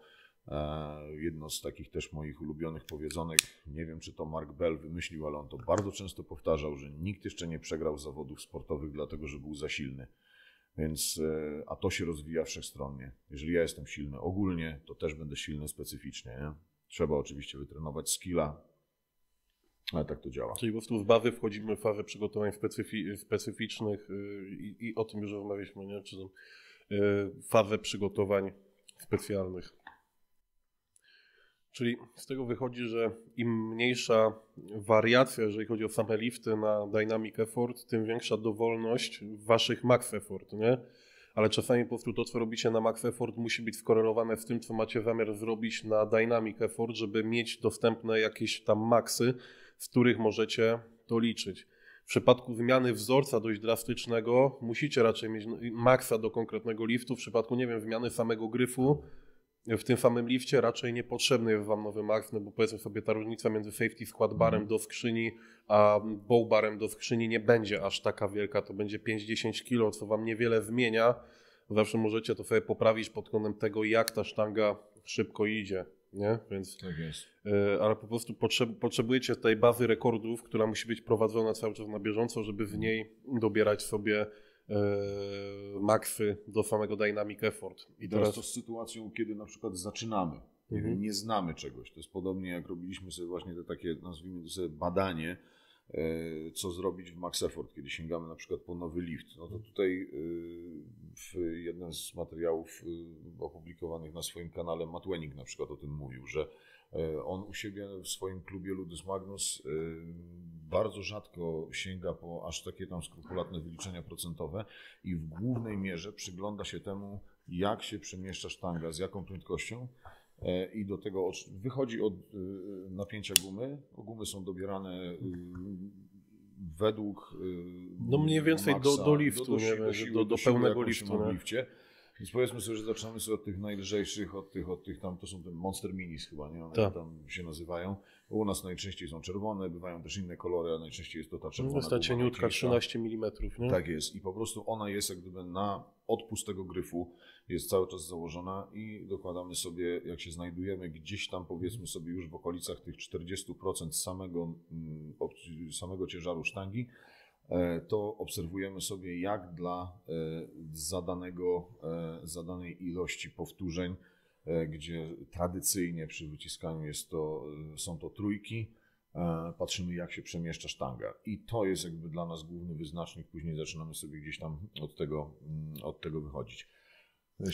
Czyli dwie metody tak naprawdę, trzy metody. Albo cały czas bawimy się blisko pełnego wzorca, bierzemy maksa z naszego wzorca zawodów lub treningowego, mhm. E, albo dobieramy po prostu bezpośrednio, maksujemy lift na treningu, którym będziemy potem robili falę dynamiczną, albo robimy to zupełnie na czuja pod kątem prędkości sztangi, ale tu potrzebne jest raczej wprawne oko kogoś, kto się zna i kto nawet spojrzy, czy faktycznie jest to wasza prędkość maksymalna, czy nadal za mało e, siły, e, czy nie, czy nie generujecie nadal za mało siły, nie? bo tutaj można po prostu jakby oszukać oszukać trochę i, i wtedy nie do końca nam ta fala zadziała. No i teraz skąd te procenty? Skąd procenty? Trzeba właśnie wytłumaczyć, bo tutaj mamy jakieś 40, 50, czy tam 60 i tak dalej. Generalnie ileś tam z gum, ileś z łańcuchów.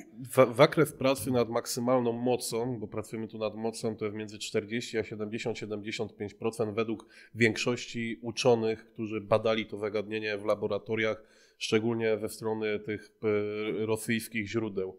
Czyli ale używając do tego nakładającego się obciążenia, czy obciążenia o zmiennej charakterystyce, zależy jak sobie accommodating resistance przetłumaczycie, to musimy trochę zdjąć ciężaru ze sztangi, bo jeszcze będzie dodany opór z tej gumy. Tak? No, guma nie jest rozładowana zupełnie na dole liftu, też ileś tam procent dodaje, ileś procent dodaje u góry, co mamy mieć określone, więc według rozpiski tej Simonsa, którą on teraz wrzuca na social media i w nowych artykułach o niej pisze, macie 50, 55, 60 plus 25% w gumy, macie do czynienia z oporem 75, 80, 85% u góry, u góry liftu i gdzieś około tak naprawdę w gumą 55 do 60 na dole, 60-65 na dole i, gdzieś w blisko ta, 70 na dole. Ta mediana z tych jakby dwóch y, skrajnych y, wartości mieści nam się właśnie ładnie w tych tak. E, procentach, które zostały już gdzieś tam zbadane jako te najbardziej efektywne. I tą, I tą medianę też używacie, jeżeli nie pracujecie w gumą lub łańcuchem, czyli gdzieś w przybliżeniu, jeżeli nie macie gumy i łańcucha, to używałbym fali 65, 70, 75% samego, samego gryfu, albo 70, 75, 80 może nawet procent. Zależy jeszcze na ile repów, nie? I zaraz o tych repach sobie powiemy. Ale teraz tak, jeżeli byście chcieli na przykład brać sobie maksa z e, liftu, który robiliście w gumą albo łańcuchem, to na Max Effort raczej nie używamy większych oporów gumy niż używamy na Dynamic Effort, czyli nie chcecie raczej maksować liftu z większym oporem gumy czy łańcucha niż te 25%, bo to się mija po prostu z celem, tak. nie? To na Future Method na przykład. Nie? Tak, czyli, czyli powiedzmy sobie macie, nie wiem, ciąg e, z fioletowymi gumami, bo to jest tam mniej więcej w okolicach waszego maksa i chcecie zrobić pełny ciąg e, w cyklu dynamicznym, ale dawno nie maksowaliście pełnego ciągu, to możecie po prostu przenieść e, ten lift na falę dynamiczną, nie uwzględniając gum, czyli użyć takiego, e, takiego obciążenia na sztandze, jakiego byście użyli, gdyby tych gum nie było, czyli te 65, 70, 75%, bo jakby te gumy nam się werują z dwóch liftów, nie? W maksowanie i w dynamiki. Taki prosty zabieg, żebyście nie musieli dokładać sobie kolejnego maksowania tam, gdzie niekoniecznie byście chcieli. I teraz tak, jak idzie objętość. Simons inspirował się objętością bezpośrednio w tabeli Prilepina z małym ale. Ja sobie tutaj odpalę tabelę Prilepina. Yy, bo nie pamiętam jej dokładnie, znaczy inaczej, żebym nie popełnił jakiejś głupiej gafy. Generalnie dla, dla siadów, czyli co, co, co oni robią, y, boksy, robią od 10 do 12 y, liftów po dwa powtórzenia. Y, Jeśli potem występują ciągi, to jest to od 6 do 10 jedynek. Dla Mhm. ławki jest to od 6 do 9 liftów na trójkach. I teraz właśnie skąd się biorą te magiczne Tak, to- to, co- dwójki, trójki To, co pan, pan Prilepin, y, inaczej, to, co pan Prilepin wyznaczył w tabeli, o której już mówiliśmy, na tych badaniach nad dwuboistami, to jest tak, procent ciężaru maksymalnego 55 do 65%. Mówi nam tutaj o tym, że w ferii używamy 3 do 6 liftów.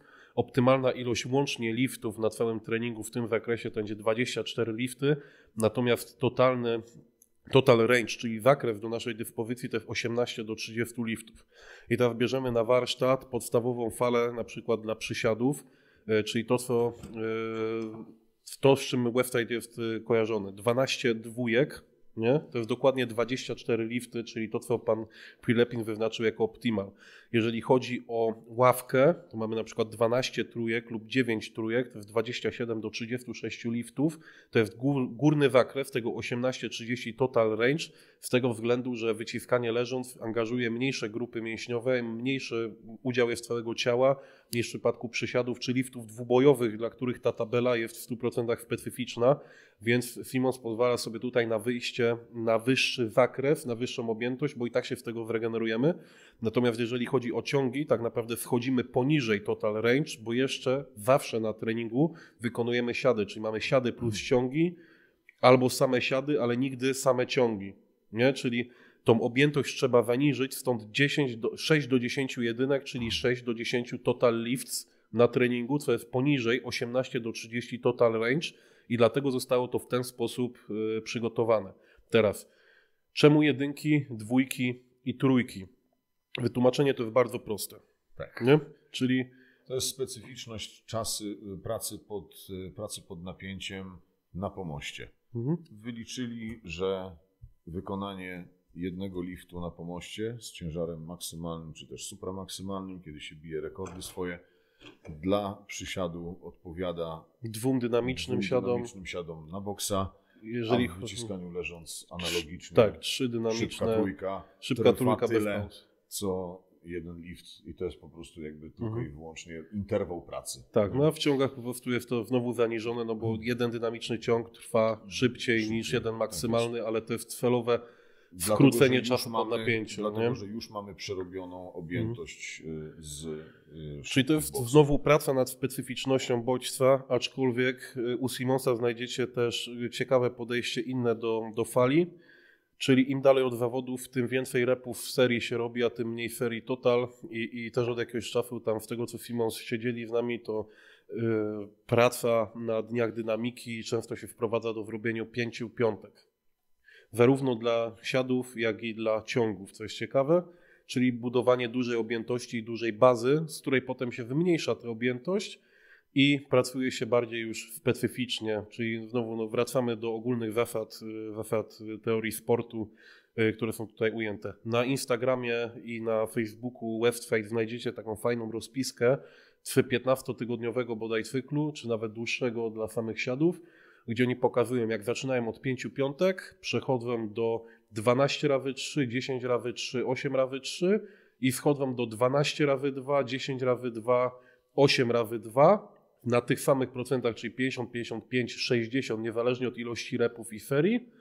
Yy, I im bliżej zawodów, tym większą specyficzność bodźca wprowadzają, czyli yy, sam cykl te 5 razy 5 rozpoczyna się od yy, safety wkład bara bodaj, nie, giant camber bar, tam jest używany, czyli bardzo ugięta sztanga, gdzie ciężar jest praktycznie przy biodrze zamontowany w celu odciążania obręczy barkowej.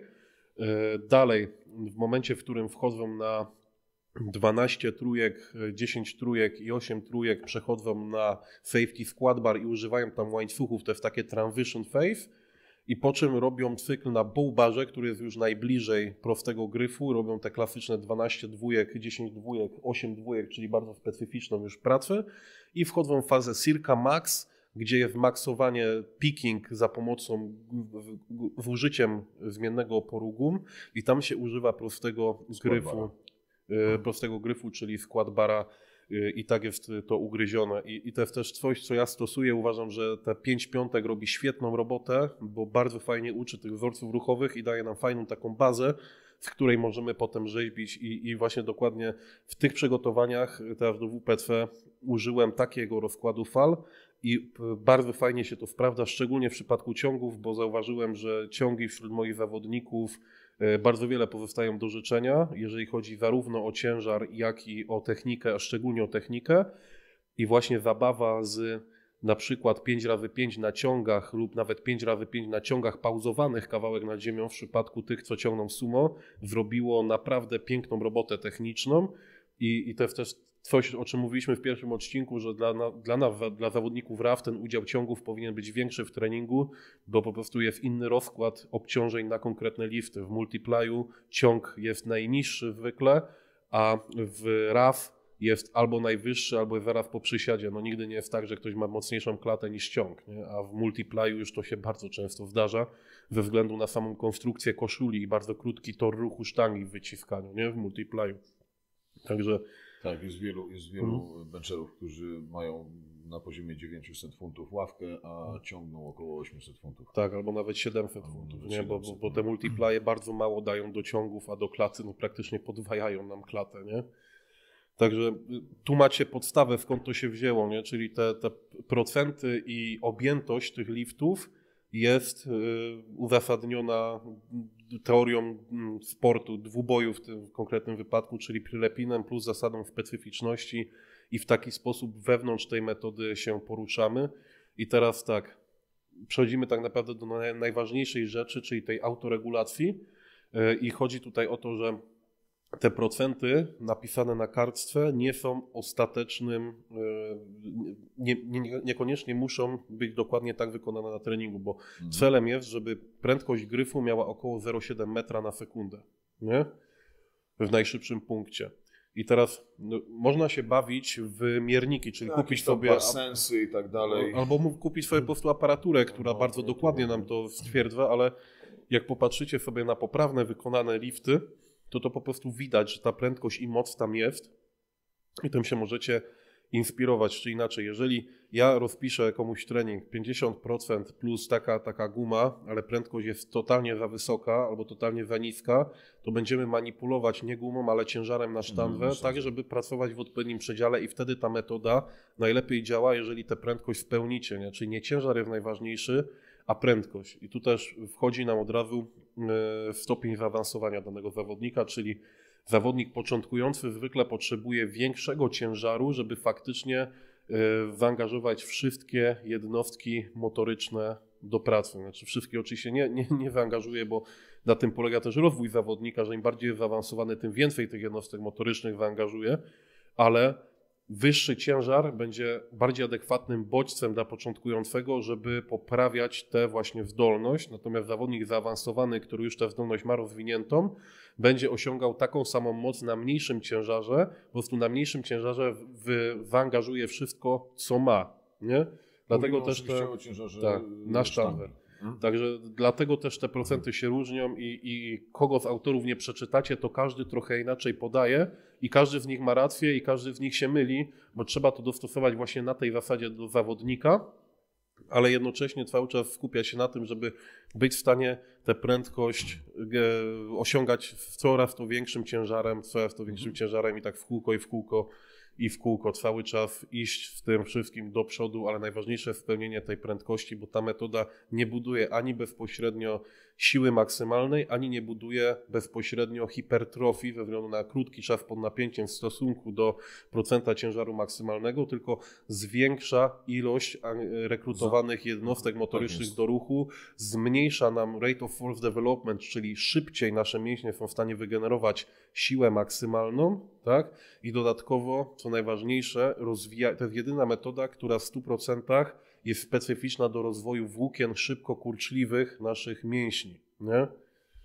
Dzieje się to przede wszystkim ze względu na y, zasadę Hennemana, nie? czyli zasada Hennemana mówi o tym, że w czasie wysiłku włókna mięśniowe, są jednostki motoryczne są rekrutowane od najmniejszych do największych, żeby zachowywać jak najwięcej energii. I włókna szybko kurczliwe zwykle są większymi jednostkami motorycznymi niż włókna wolno-kurczliwe, więc generalnie przy każdym wysiłku włókna wolno-kurczliwe są angażowane, a szybko kurczliwe są angażowane w drugiej kolejności. Jednocześnie charakteryzują się bardzo szybką rekuperacją, więc dorzucenie do tego krótkich przerw w treningu dynamiki, co jest bardzo istotne, mm. że pracować na konkretnej prędkości i przerwach nie dłuższych niż minuta pomiędzy seriami, wtedy faktycznie jesteśmy w stanie angażować coraz to więcej włókien szybko kurczliwych, też ze względu na to, że nie nadążają z rekuperacją i będziemy ich mieli więcej dostępnych do treningu max effort, gdzie dopiero nauczymy się ich używać pod maksymalnym loadem i w taki sposób dynamic effort buduje nam bazę dla max effort i pośrednio, ale nie bezpośrednio buduje siłę maksymalną, jeżeli potem ta zdolność umiejętnie tak. użyta będzie przy max effort. Tak jest. Po prostu pomiędzy tymi dwoma metodami na tej zasadzie zachodzi taki, taki, taki rodzaj sprzężenia zwrotnego, nie? Jo. E, tu jeszcze Coś jeszcze chciałem powiedzieć właśnie odnośnie tego, co mówiłeś przed chwilą, ale mi chyba uciekło. Um, pa, pa, pa. No dobra. To, to powiedz żart. Może sobie przypomnę. E, o, już wiem. E, o. Przykład, e, przykład praktyczny. Będzie to prawdopodobnie dotyczyło głównie właśnie osób, u których ten rozwój jest jeszcze dosyć szybki czyli powiedzmy sobie osób, osób początkujących, średnio zaawansowanych, rozwój tej siły absolutnej, maksymalnej idzie stosunkowo szybko i teraz dynamika zawsze, no to nam wynika z wyliczeń, z tabel i tak dalej, y, to jak jesteśmy w stanie przemieszczać y, obciążenia submaksymalne, jest w ścisłej korelacji z naszą siłą absolutną. Wszystko zawsze reprezentuje procent maksa. Tak, to jest na przykład y, widoczne w, nie wiem, no tak jak Brian Shaw na przykład y, sobie tam robił, nie wiem, z crossfiterami e, power cleany na przykład na czas, no to dla niego na przykład y, obciążenie, którego oni używają tam w tych swoich wodach i tak dalej, y, które gdzieś tam jest powiedzmy sobie uśrednione dla każdego z ćwiczących, to dla niego to po prostu nic nie waży, tak? A bierze się to po prostu z tego, że jego jakby mm, one rep max w tym jest no, nieprawdopodobnie większy. E, generalnie mamy sytuację, w której y, powiedzmy sobie rozpisane procenty fali Gdzieś tam nam się zamykały na początku w okolicach 50%, przychodzi kolejny trening dynamiki i widzimy, że e, no, sztanga porusza się bardzo szybko, tak? No to robimy malutkie dokładki. Jeżeli mamy dostęp do mniejszych krążków niż 1,25, to nawet ich można użyć a jeżeli nie, to sobie po prostu dokładamy po 1,25 na stronę i w każdej kolejnej serii obserwujemy po prostu, jak zaczyna spadać ta prędkość sztangi. Jeżeli to jest zauważalnie już po prostu zbyt wolno, no to robimy kroczek w tył. Jeżeli e, uznamy, że o, ok, jest dobrze, jest wymagająco, ale prędkość nadal jest zadowalająca, to sobie zatrzymujemy jako nasz taki punkt wyjściowy i już na przykład kolejny trening fali opieramy właśnie na tym, co się mm, wydarzyło na tym treningu. Nie? W taki sposób można to sobie zautoregulować. Hmm. Czyli znowu wracamy do tego, że to nie jest metoda, którą sobie rozpiszecie na kartce, albo ktoś wam rozpisze na kartce i zupełnie bezmyślnie wystarczy wykonać określoną ilość setów y, i repów na konkretnym ciężarze i będzie efekt, tylko znowu wymaga od nas troszeczkę więcej uwagi, obserwowania, analizowania i ciągłego zmieniania, dostosowywania systemu do siebie, tak by to On służył nam, a nie żebyśmy my służyli Jemu. Wydaje mi się, że na ten odcinek wystarczająco dużo info na temat y, metody dynamicznego wysiłku. Będziemy jeszcze na pewno wracali do każdej z tych metod. No, tym bardziej, że czekamy także na to, że się pojawią no, właśnie pytania odnośnie Czekamy metody. także na Wasze pytania. Y, bardzo Was zachęcamy do tego, żebyście zadawali je pod filmem i kolejny odcinek y, pewnie też zaczniemy od odpowiedzi na te pytania. Jeżeli uzbiera się takich pytań odpowiednio dużo, to po prostu ogłosimy konkretny podcast, który będzie y, poświęcony tylko i wyłącznie odpowiadaniu na pytania. Być może też Wasze pytania nakierują nas na tematykę kolejnych podcastów, czyli wkumamy, co jest najmniej jasne, co jest najbardziej jasne, co, co warto rozwijać, do czego Może możemy wrócić później. ściągnięcie jakiegoś ciekawego gościa na przykład. Tak, tak, może kogoś po prostu tutaj ściągniemy. Chcemy taką interakcję tutaj, e, żeby się z Wami nawiązała. Na pewno to Jo. podniesie. Także w tym momencie nie pozostaje nam nic innego, jak zachęcić Was jeszcze raz do zadawania pytań, do e, wrzucenia okiem na nasze social media, na których nic się nie dzieje. E, Jeżeli chcecie potrenować w ekipie trójboistów, w klubie trójbojowym, a nie na jakimś gównianym fitness klubie na plastikowych gryfach i krążkach, zapraszamy Gdynia Outlaw Barbell do kontaktu przez wiadomość prywatną. Lub jeżeli chcecie podjąć współpracę z nami online, ze mną czy z Adamem, również piszcie. Generalnie raczej dużo mniej już prowadzimy osób online, ale jeżeli uznamy, że y, współpraca jest rokująca, to why not? Jak najbardziej. No i co, dziubdziaczki, no, Pozdrawiamy serdecznie. z tego miejsca. Tak jest. Życzymy miłej e, reszty dnia i miłego weekendu i widzimy się już niedługo. Tak jest.